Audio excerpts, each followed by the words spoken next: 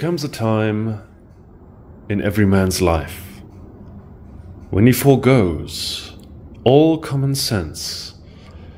And actually hold on. This is generally every man everywhere. Look we're still boys we're hooligans and sometimes maybe when we're feeling down when we've got a midlife crisis when we're 16 and and the semen is coming out of our ears we just want to have fun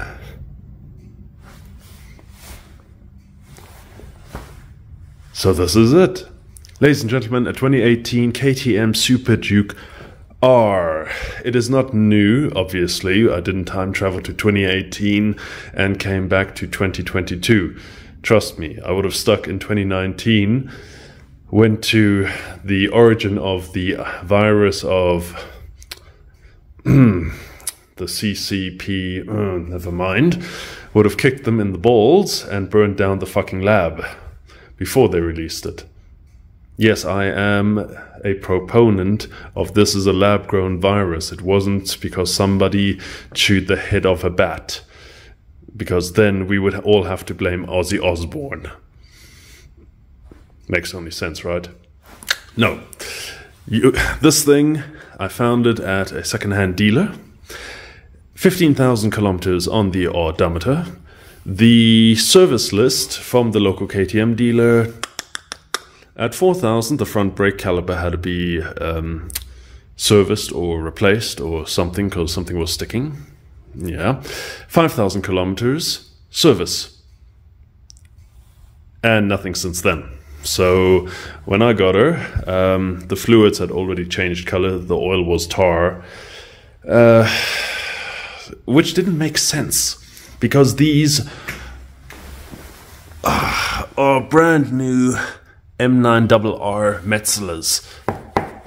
Brand spanking new. So, was this. Did the guy change it? Did he do a track? Did he crash it, rebuild it, and get rid of it? I will never know. I unfortunately will not. Because there is no damage, the frame is perfect, the rims aren't even scratched. I mean, this thing's bloody pristine. Okay.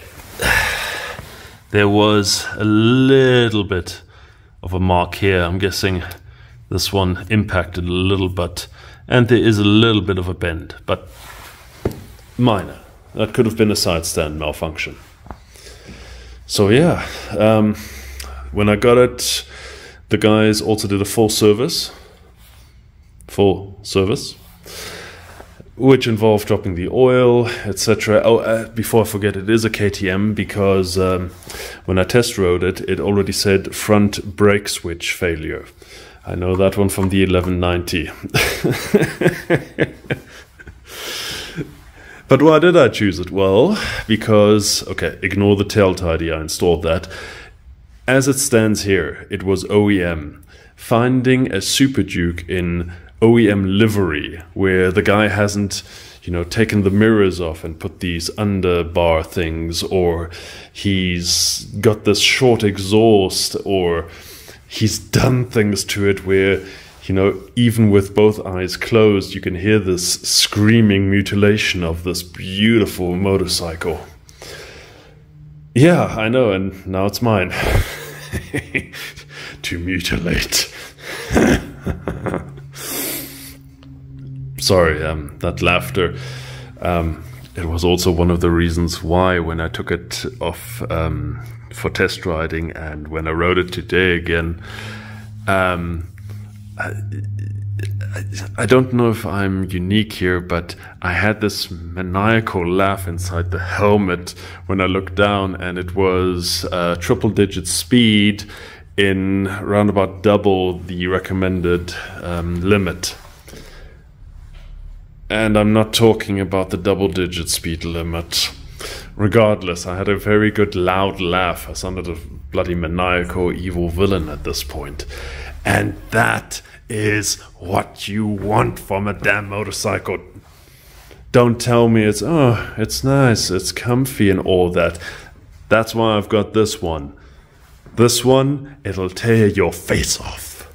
And you don't need to take my opinion. How many videos are there of the Super Duke where everybody is scared or it's so much bike, it's a hooligan? Well, I'm truthful about this. Um, I rode her in rain mode for the first couple of times because I didn't know what the fuck this thing was doing. And even then, rain mode was yeah, sure, it's it's it's tame. Mm-hmm. Sure. Mm-hmm. Then I put her in street. I haven't gone to sport mode yet. I did not even turn off the anti-wheelie traction. Um, before I forget, it's got all the software upgrades.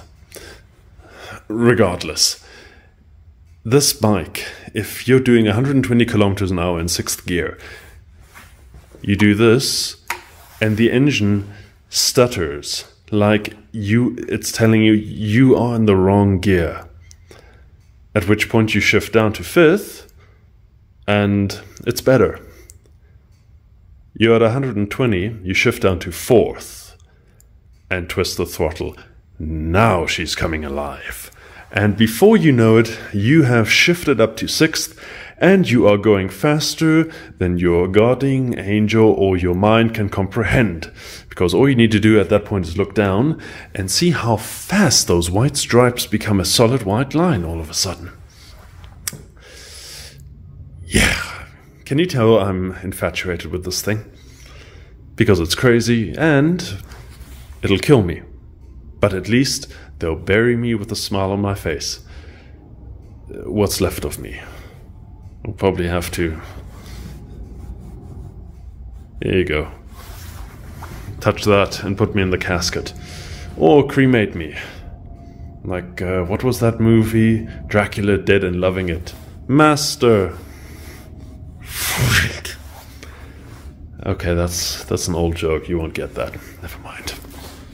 So now you know this thing is a handful, a bit crazy. It's a 2018 model. And as you can see, it's got a couple extras. Ignore these. Those were fitted by me. Uh, it had OEM handles. It had... These came with it. It has the KTM power seats, or whatever that is. Um, full Akrapovič exhaust, titanium. Yeah, the full thing. Uh, if you had earphones on when you started this uh, video, you would have gathered as much of the sound quality of this thing. Uh, what else? It also has the radiator guard that came with it, which is nice because stones will flick up and destroy everything in this bloody country. And uh, that's about it when it comes to extras and etc. So it's really bare bone, but it's a naked. Coming to the KTM extras, and here I have to really uh, ask KTM. This is no this microtransactions. I'm not a fan of these, and neither am I when you buy a bike. And in order to activate the quick shifter, the wheelie pack, the track pack, and all the other settings, you have to go to the dealer for some software jockey to whip out his cable, plug it into your favorite girl, and then wait while he pumps her full of. Focus. Basically, behind the paywall to activate all the extras that are already here. Okay?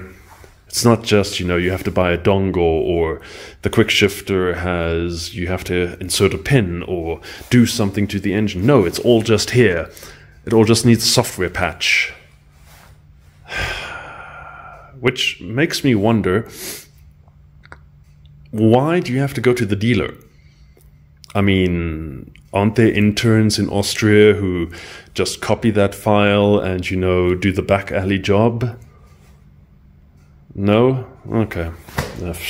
Guess uh, never mind. So that's that. Um, brand new tires, brakes. When they serviced it, brand new SBS brake pads in the front. And, um, well, they did service it. Hold that thought. What do you mean, hold that thought? Well, easy.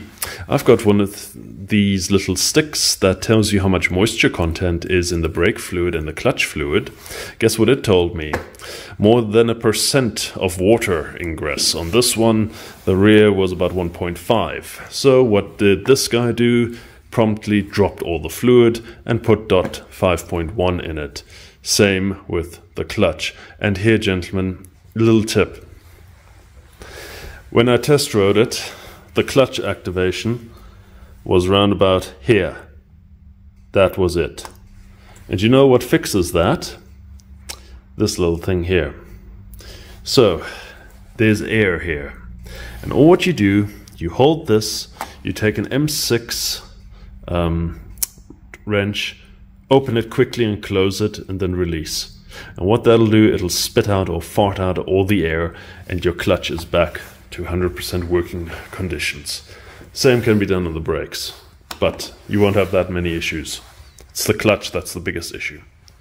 Okay, so there's that. I didn't drop the oil yet because I want to take this on a 300 kilometer ride where the engine oil has time to cleanse the internals and then you drop it. Plus, on the 25th, I've got a track day. Yes, I've got a track day because I want to know what the hell this thing can do on the corner. Yes. Looking forward to it. Things that still need to be done though the coolant. It's 2018 model, it's 2022. Services in 5,000, because then it'll hit 20,000. The coolant will be four years old. Long life coolant, I don't know if it is, needs to be dropped. So that's a forthcoming video. Uh, tires I didn't need to do. Oh, there is one thing I did, and there will be a video.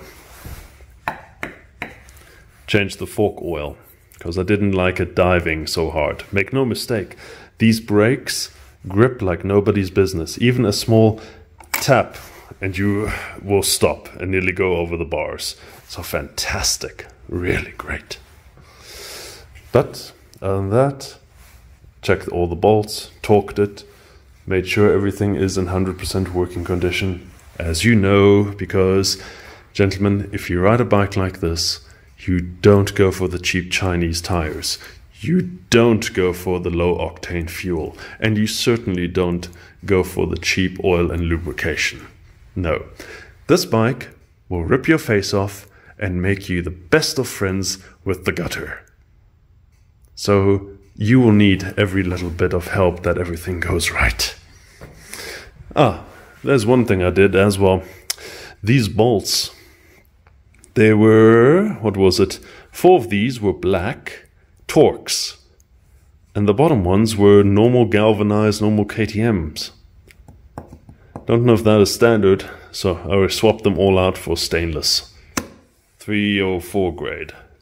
And a little bit for the cell phone. That reminds me. When you remove the seat, click, you lift this up, forward. You will find a toolkit, which is absolutely useless. Uh, you will also find right here a USB plug where you can plug your uh, phone charger in well, your phone cable. And the phone itself can be stored under here because it's got a, how do we say, a compartment for it.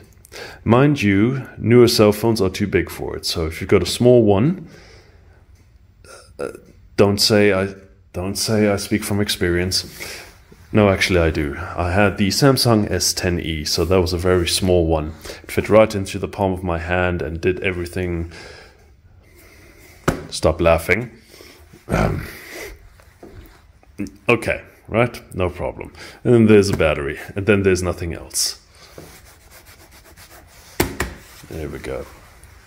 So that's it. In terms of electronics, track pack, etc., uh, there is a drawback riding this bicycle. Bicycle, he calls it. Motorcycle. Your view is here. You actually have to look down to see how fast you're going, not that you actually care, or if there's any problems.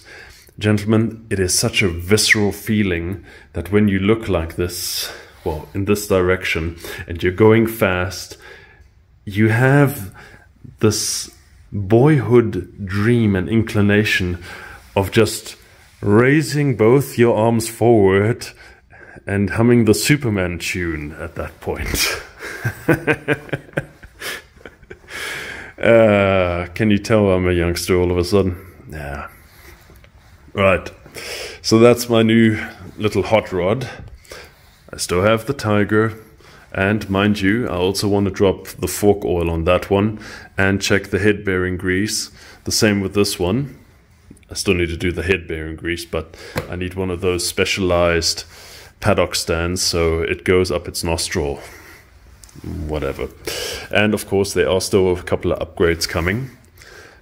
Videos will be forthcoming. One of them will be um, double take mirrors because if you're on the track day, whereas these are, well, KTM 0815er, nothing new. And of course, crash protection. Oh, on the rear I've got a little bit. Front, uh, I'm already faffing with an idea. So, at least you've gotten to listen to me rant about a new toy. If you don't hear from me, well, not as frequently, I'll probably be in hospital trying to, well, how do we say, remove my head from my ass because I was being stupid with this thing. So there's plenty to look forward to. And as always, thank you for viewing this video. I know many of you state that I'm an old pervert, that I'm quite useless, and that my humor couldn't even entertain a two year old. Well, sucks to be you because my two year olds definitely giggled when I made my jokes. Later.